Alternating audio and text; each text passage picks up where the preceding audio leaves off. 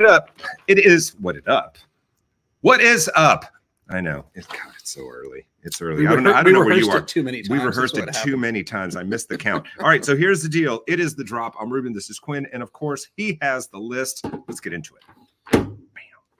All right, let's, on, talk baby. some, let's talk some Texas stuff straight. Yeah, up. Man. is a brand new uh, Gary Clark Jr. record, and this is his uh, fourth full length. It has been a while, and uh, you know, but he's super visible. You always see him like jump on stage with other people, and and uh, he's got a pretty uh, Yeah, if there are guitars involved, if there's guitars involved, he's, he's showing up somewhere. yep. And and uh, you know the heritage players love him because he's like the young guy that's kind of Mhm. filling the Moving the blues there, forward. moving the blues forward. And this is a very blues centric release, but there's also world music, jazz. He also kind of flirts with hip hop a little bit. There's some uh, some African stuff, but it's still. I think they're doing a good job of still keeping it rock because they they really. Warner Brothers has pushed him in a very rock direction, but it's still they're still keeping it. I hate I- the title though. yeah, I mean that's that's fine. Uh, but I think um, I think um, I watched an interview and he was talking about. He goes, you know, I have all these influences, and he goes, I'm kind of in a position right now where I can go in in any of those directions, Yeah. and good for him, man. Yeah, yeah, and we have an indie store exclusive uh, colored vinyl. This is uh, is it silver? It's it's the Lone Star edition, and uh, there's only fifteen hundred copies. Silver vinyl, come to Cactus Yes. and get it, baby. Go to your It's wait- Texas wait- record it's store. waiting for you. So good one there. Hey, and you know one thing we love to do is introduce people to new artists on the drop here. The Last Dinner Party. Uh, this is their album Prelude to Ecstasy. Good stuff. This is, I think, one of the And you've big, probably already heard it before and didn't know that it's them. this is one of the big breakout bands of the year. It's Uh-huh. already huge across the pond, all female uh, rock band. It debuted. The, they had uh, several huge singles. The album debuted number one in the UK. Uh, get ready, they're coming. It's Yeah. gonna be. It's gonna It's be big stuff. here. Now, you're you're gonna hear this again uh, as we move forward in the drop, but. The influence of Siouxsie and the Banshees is so pronounced in this record. Yeah, throughout the album. and that's a great thing. It's this is a very likable record. Songs are great. Yep. Um, I, look for I, could- look for this. I to could be, not agree more. I look for this to be one of the big breakthrough records of the year. Yeah, this finally needs- out. This needs to be one of those cactus in stores. Oh man, I'm, they- I'm working it when- hard. When, when they come to hard. town, wouldn't that be great? And this is uh s- uh this indie store uh, smoky marble vinyl, and it comes with a poster because, I mean, they're easy on the eyes. You're gonna want a poster. Oh, of uh, course. those ladies in their medieval Lovely gals, incredibly lingerie? talented. I don't No, no, this is there. lingerie. I don't know what that is. I don't know what I don't know anything about fashion. We should we should just move to the next We should record. just stick to this is where stick to the vinyl. I like this. Uh, hey, brand new record from Ride. You know, they were just like here in this one. January.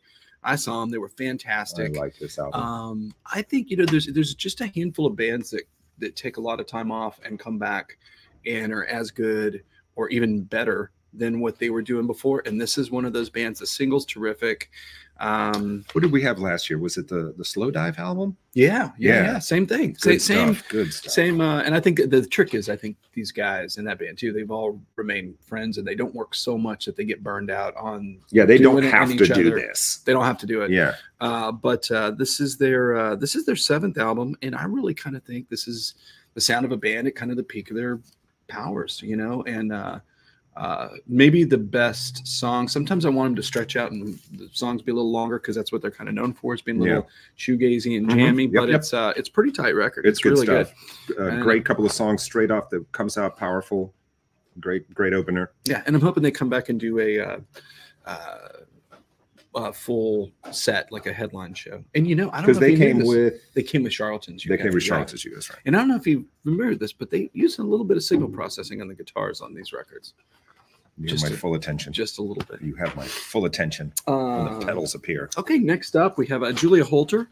Uh, what you need to know about her, she's really kind of comes from like the classical uh, side of things, and uh, it- I would say it's experimental pop music, and the cover kind of says that. So, as with a lot of when she was younger, um, she was obsessed with the Beatles and kind of like gave them because she's like a composer and, Yeah, and yeah. really kind of working at the edge of of the fringes of uh, uh, music and, and, and artistry there that you know the obvious stuff kind of gets behind you but she got became obsessed with them from the get back uh, documentary so um the title something in the room she moves is it. a is a It's a spin play. is a play on the beatles and this is uh, somewhat beatles inspiring once again the shadow of Siouxsie and the banshees cast across this record. And, and you've been able to hear that in her other work too. But again it's pronounced on this. I kind of just love it that Siouxsie's getting all this this this cred and, and well deserved. yeah absolutely. But this is a cool record. Check it out. It's really different. You haven't heard anything like it. I was I it, it took me I, it took me a few songs to kind of under because I don't know anything about her, I've never heard her before.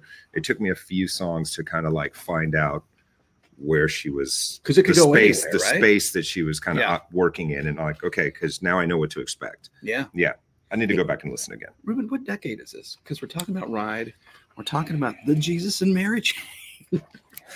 All your favorite '80s bands are they're They're back, back. and they're they're doing it up, and this is this is a solid record. You know, these guys kind of uh, the brothers Reid patched it up and put the put the train back on the Put the track. and it's band back been- together, baby. It's been rolling. Uh, Glasgow you got to wonder if, like, when they called each other, they said, "Hey, we're putting the band back together." You Yeah. know, like the classic. Uh, Yeah. And one of the um, guys said, "Don't say that."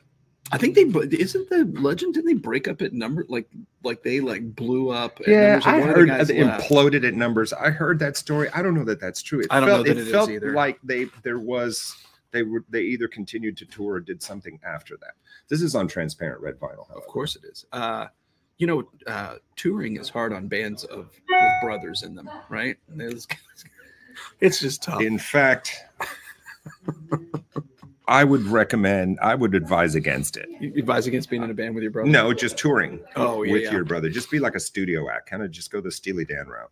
Well, so if you're a fan of this band, it's pretty terrific. I mean, Yeah. it's it's definitely they playing up there. Like I hear Suicide, I hear Kraftwerk, I hear of course like what they do, but it's very, you know, sometimes these, these heritage acts they get back together and they're just kind of doing their template. They're doing what they're Going through do. the motions. There's there's growth there in uh, artistry. So just check it out. Their 40th anniversary this year. That's How crazy. about that? Yeah, That yeah. is crazy. Okay. Well, it's sure to be one of my favorite albums of the year. Her last album was my favorite. I really of this one two years Yep, ago. I was is Sierra surprised. I Ferrell. liked it a lot. Sierra Ferrell Trail of Flowers. Uh, get ready. This is so. This is her third full length. The first one is like totally indie, and I don't even think you can Yeah. get it anymore. But um, really, the follow up to her huge and, and just like slow burn, like it sold steadily for two years. Um, uh, her last record, and she just has her voice. Voice is otherworldly. The instrumentation is great. It's she's the real deal. If you want to hear somebody just making great uh, bluegrassy Americana Yeah. country music, it's she's for she's, real. She's quite the lyricist too, and I, Oh, I, she lo- is, yeah. I love, I love her take on like like dollar bill bars. Really, Yeah. really cool. And so I think this record was ready to go last year, but they didn't want to put it out at the holidays because there's so much stuff out there. They waited for the spring. Good timing. Um, and boy, you know, so that Eddie Spear guy that's produced uh, Chris Stapleton and uh, oh, he worked on this. and Okay. Zach Bryan and Wow. Brandi Carlile. Okay, cool, so, cool, cool. so everything's just kind of teed up. And again, we got a s- indie store exclusive variant. It is Candyland vinyl. yes. Candyland. If in if you're wondering what Candyland is, it's kind of purple and pink. Okay. So, there you go. I love that. Um, have you heard this thing? This thing is great. I have heard it. It is wild. So this is the record everybody's talking about. This is the Andre 3000. Uh, from you know him from OutKast. This is his spiritual new age, Yeah. uh, And- meditative. Yes. Um, I, I'm trying to think whatever. Well- it's progressive. It sounds like progressive rock at times too. Why? If you haven't heard, I guess we just let to let need to let people know that this is about as far away from OutKast as you can. It get. doesn't sound anything like OutKast. You're not getting that, but good on him. I, yeah, he did. A, I've seen him do a couple of, of performances. There's been some some live clips that I've seen online. Really cool, really different. I mean, he's really digging into some different genres of music and spaces and trying things, and it's cool. I love I, it. uh, last thing I would have expected. No, yeah, yeah, Right? absolutely. And I'll tell you, what's kind of funny is you're you're hearing a lot of hip hop artists really dig into late '70s like minimalist electronic-y like rock Yeah. records. And I, I hear that here. I, I love that kind of stuff too. It's cool to hear him pay it forward and do this and to really just step out there and take a huge chance. Uh, give it a shot because it is really it's like this meditative spiritual record. I, I totally dig it. Because he could have very easily come out and dropped the Oh, next absolutely. Right. you know, hip hop. He's one of my favorite interview guys. Like whenever there's an interview with him, He's I always always- great. He is awesome. he's He's, always like a bright light, right? He's Yeah. like a super positive. Yeah, and and Guy. very very early on established himself as just being a unique artist, both the Yeah. clothes, lyrically, you know. What was the the what was the God, the double album? And they both did one side each. The something Oh, within, the, yeah, the love uh, within, the love within, the love below. Love below. Yeah, the love below, something like that. That was. That I mean, was, that's that was. It was really that's a, cool. That's a record you got. so cool. Um, now for something completely different, new Cody Jinks record. You know, mainstream but rough-hewn country, alternative country guy. Guy sold two two million records like on his own without a major Isn't record company. I love to hear stuff like that. Yeah, and uh, he just, you know, he's truly indie, and I think he just connects with fans uh, on a on, on a deep level. Yeah. And um, he's the real deal. You know, he he plays huge venues and sells tons of records, and it's all on his own. I love that. He's turned down, I think, every offer I to think do that's the something that new- bigger. I think that's going to be the new way forward for a lot of people. If Yeah. you can pull it off, I if mean, if you can pull it off, you got to have that groundswell of support yeah, from fans. and absolutely, this guy does. absolutely. And, and fans have been expecting this record for a while, so they're flipping out. Um, talk about expecting a record for a while. About time we got a new Shakira record, right? How beautiful is the uh, cover art on this? I love it. And this is She had a like a personal life thing that she had to take time time away from. I might think. be, I might be. I do not deal. know that story. But she is a superpower, uh, uh, you know, a freaking supernova in in Latin America, obviously, Oh yeah, and crossed over to the to uh, American pop stardom. So yeah, I think this one will do well. and this is their twelfth Las record. mujeres ya no lloran. The women no longer cry. Oh, I like that. That's a great. title. Translation, yeah. I'm good for something. You got it. Not it. just man. holding you got it. You got it. Uh, so this is her twelfth album, and you know she's been teasing. She's been putting out singles along and along. So you get pretty much like you buy this thing, you get seven like bona fide huge hits plus uh, the rest of. You know, and it's always interesting when there when there's a bunch of singles that advance to hear how they they uh, fill out the record to make it like conceptual or whatever they're trying to say. I guess I'm guessing you got Uh, Karol oh. G. Karol G. Who's everywhere, right? Karol? G is Everywhere. absolutely everywhere. Everywhere. Cardi B. If you're making a record, Karol G knows it, and she's going to show up. Yeah. okay. Uh, did you listen to this record? Have you heard this thing? No, I didn't. This thing is kooky crazy. This is the Messthetics. This is their second album. It's the Messthetics and the James Brandon Lewis. It's their second album, but it's the first on Impulse, which is you know John, label known for John Coltrane and other artists. This is uh, self-described by them as DC experimental jazz punk, and that's what it is. You have two members, the rhythm section from Fugazi Yep. on this record, and um, um, it's cool. It's need to check different. this one out yeah, sure. it's it's it's a cool record. Um, it's kind of uh, not to let the cat out of the bag, but it definitely. Uh, so the instrumentation, you get the rhythm section and guitar and saxophone, which is always interesting how those two things come together. Uh, I would say that the kind of determining factor in, in listening to this record is it is recorded like a rock record. You know, it's not like that old school sound of a room kind of thing. Right. Uh, it's very tech technical sounding and well engineered. At times, it almost sounds like they're plugged into the board instead of you know Right, using right, mics. right, but, Uh, right. but if that's your thing, I, I think it's worth it's worth a listen just to um, if you're if you're a fan of uh, of Fugazi to check it out because it's it's very it's very cool that they took this left turn. I love that. Yeah. And the packaging's good because it looks like a classic Like uh, a John classic Coltrane like record, right? Classic album. Yeah. Love Yeah, that. Yeah. Love it, love it, love it. I don't. I've never. What? Who's? What labels Impulse? Who's? Uh, it's who's- through Universal, but it was, Universal. but but Okay. it was, you know, like everything that was a, that you see a logo of was an Was- indie at some point. you know, absorbed. Yep. They grow through acquisition.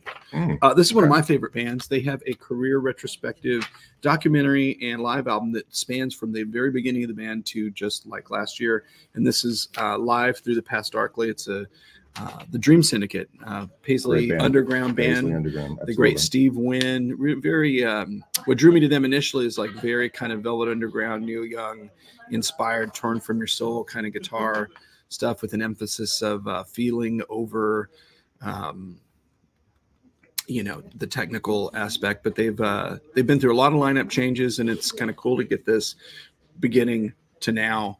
um, retrospective of them, and they had a previous documentary about 20 years ago that was basically them breaking up on the road. Yeah. Uh, and this, but this is more of like a, a classic doc that tells the story of the band. So, um, and and they're one of those groups that got back together. They found the right lead guitar player to kind of fill things out, and they're as good as they ever were. Sadly, have not been back to Houston in their four uh, albums in this month That too. is, that is a show that I would yeah, go see. I know it. Yeah, I'll- absolutely. One hundred percent. All right. Um, all right, we're gonna, we're going to wind up the new release portion of the program with um, talking about a brand new pop artist that I think is just going to be huge. This is Tyla, and she uh, she won the Grammy this year for um, best African performance, and you know so she had a worldwide hit in 2019 um, called "Getting Late."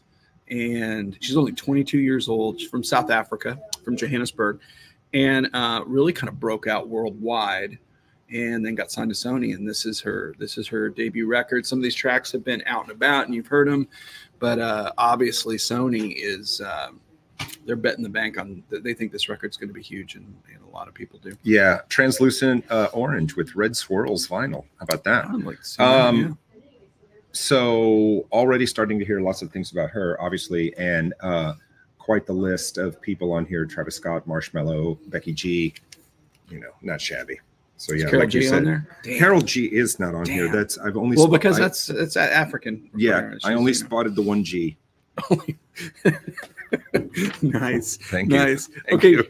uh, Ruben, let's talk about some reissues, and let's talk about like Let's do it. crazy Texas bands and Come on. reissue. Let's go. And I didn't ask you. uh, What can we say about this on the? We can. We can. All Yeah, right. it's the name of the band. All right. So Yes. we got uh this band's catalog has been unavailable for many years and it just or available sporadically. But now it's all there they put all their catalog with the Matador label. Now you can get all of their uh great super weird records by the Butthole Surfers Mhm. available. Um you know, uh, this is in Ruben and my like sweet spot. Like we saw these guys at the, you know, when they were just huge and crazy, and it was you never knew what to expect. It and was- it was always super was weird. It was chaos. Uh, it was It was absolute chaos on stage. chaos, and these records are genuinely weird. I I don't even really know. You know, I always make a few notes like how to describe. I'm like I don't know how to describe this. It's just psychedelic indie weirdness. yeah, I mean there was there was obviously that whole kind of punk DIY thing happening, but Mhm. it was you know out of Austin, Texas, and just you know Gibby Haynes and his cast of you know lunatic uh, Yeah. carnies. Just yeah, carny. Carny's a great word Yeah. for it. Um, and and you know, it was just they had a few songs that they would And the weirdest thing in the world is that they had a hit with uh, a hit with pepper. Pepper, yeah. And they would use all these visuals at this which show. sounded nothing, Nothing like, like the rest that. of the No. catalog.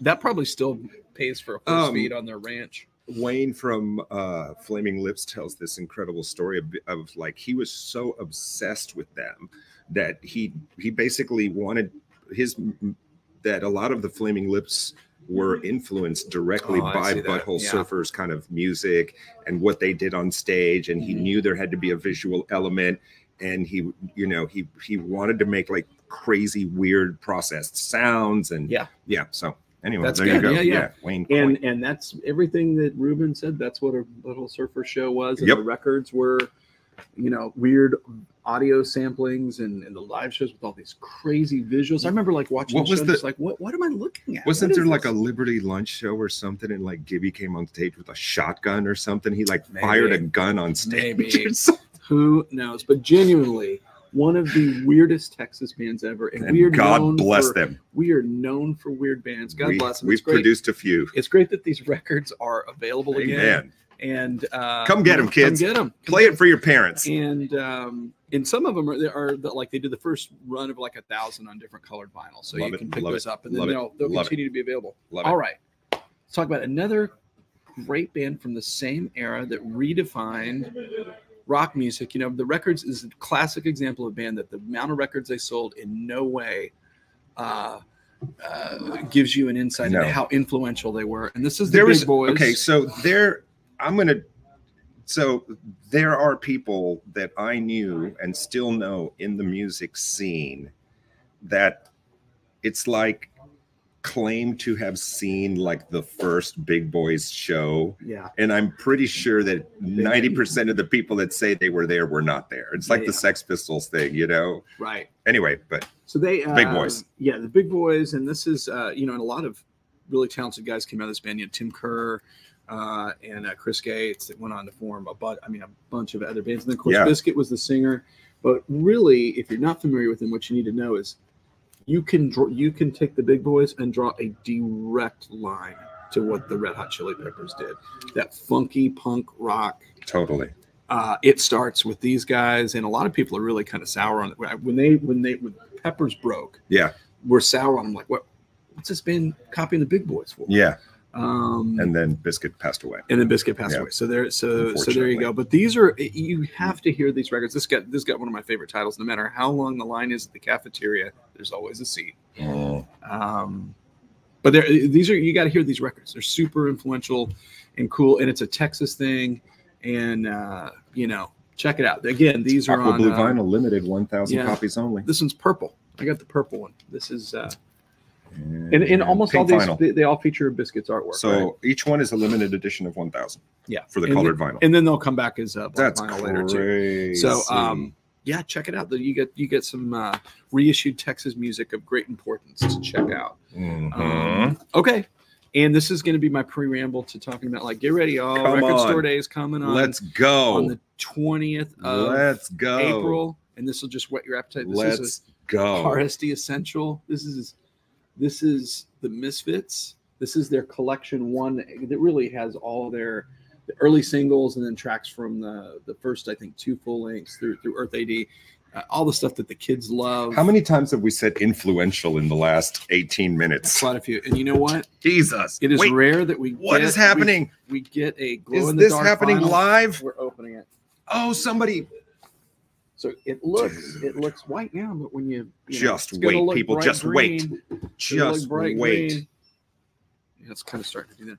Uh, but anyways, so this has been available as a regular piece, but the, you can only get the, the the glow in the dark limited edition vinyls only available at indie record stores and for limited time only. It's already I'm glad off the that even you have trouble putting it back in the sleeve It's like, like that. static. Who invented these things? I know. It's ridiculous. I mean, look at this.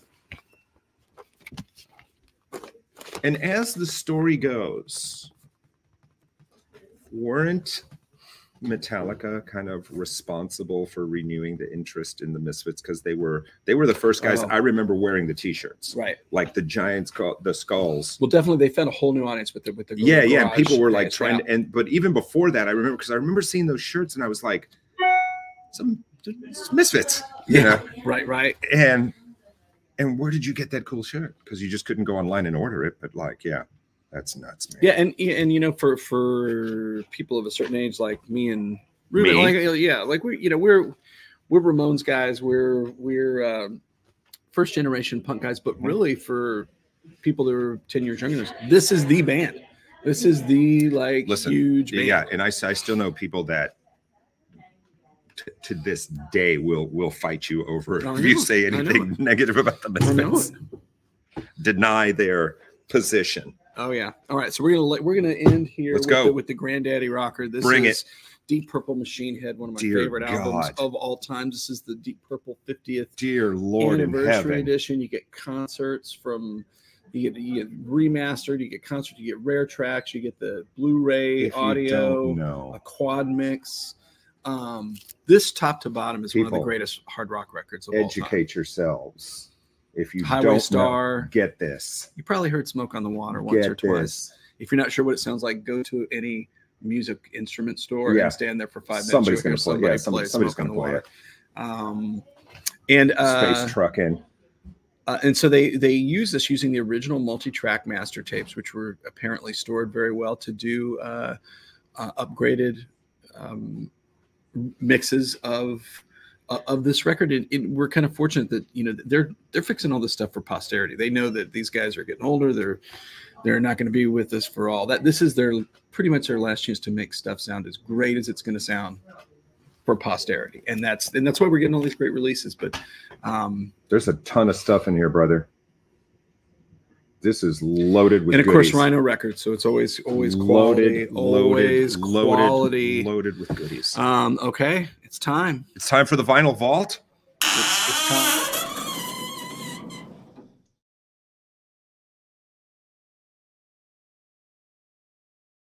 Yeah, baby. Yeah, yeah. Again, and thanks to our, our incredible art department and animation team for that.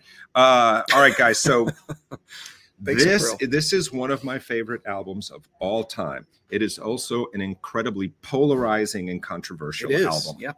Boom. It is the Bad Brains uh, quickness. So this is one of those albums that when this came out, Bad Brains fans that were of the Banned in DC hmm era were like, it's not even Bad Brains. This Right. is garbage. It's metal. It's trash. What are they doing? And for me, that could not be farther from the truth because I think that everything they were that first time, you know, you see, you've seen the great video from CBGBs and the photographs with, you know, uh, HR launching himself into the crowd. And um, yeah, I mean, that was this incredible punk moment in time, but all of that DNA is here Yeah, for sure. you know, and nobody. And also, if I'm not mistaken, Mackie from the Cro-Mags played drums on this. Earl did not. Um, it's giving it more of a harder rock, hardcore It- yeah. sound. But like nobody writes in in their entire history, nobody writes riffs like Dr. Know on the guitar. It's it's it's not and there's and God knows I love a good two or three chord punk song, but just their melodicism, their sense of their harmonic knowledge. You know, Darryl Jenifer, incredible bass lines. HR is just like vocally sounded like he was being murdered at any given point. Um, Soulcraft, incredible voyage to infinity. There's not a bad. The problem is there isn't a song on here that's not killer and produced by the mighty Ron Saint Germain, who at this time could not have been a hotter producer for anything that was heavy. Like What- what that was, he was. doing about this time. uh, what do you mean? No, I mean, like, what was he doing? Like, what would he? Oh God, I, I I don't want to start naming bands and then somebody be like, no, he wasn't on that. Okay. But like a lot of a lot of a lot of stuff. So anyway, uh, let's see, what do we have? Remastered by Dave Garner. Blah blah blah blah blah. There's nothing colorful or anything on here, but I'm telling you, if you haven't heard this and you're a Bad Brains fan, and because somebody told you this isn't the good Bad Brains, they are lying to you. This album crushes. it crushes. And I remember when it came out, and and I had I had uh, and I hadn't heard it yet, but I had talked to you know friends like, oh man, I really don't like it. It's like it's not. um because you know, I think you kind of had punk punk fans, and then you had Bad Brains fans. You know, there's- and- Sure. and it crossed a little bit, but there were people that didn't really like all the punk stuff, but like Bad Brains, like what they stood for. Yeah, But this, it just like turns them into a machine. Like it just tightens think- all the screws, and it yeah. I think there's a lot of people so that's like hard. banned into sea, and then after Rock for Light, they're like, nope. Yeah, right, right, right. You, you And- know, and, and, that's it's it with punk. That's it, it with punk bands and, and hard rock bands in general. Yeah. Like they want you to stay in your lane, and that is not artistry. You have to grow. You have to do something different. You have to, you know, progress. And you know what?